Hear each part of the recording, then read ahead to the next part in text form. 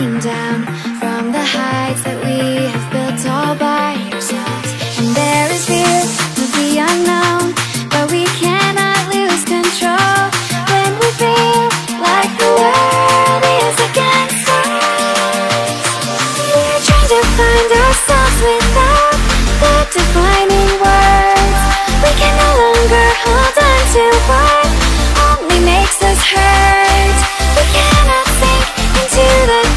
divided girl is getting shy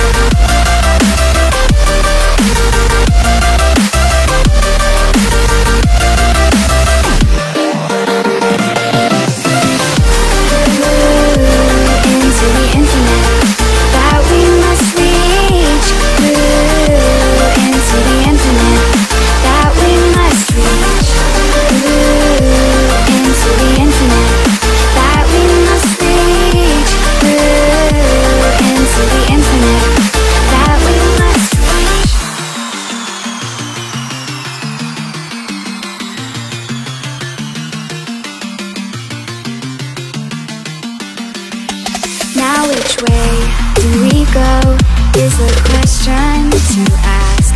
There are so many choices that it's hard not to look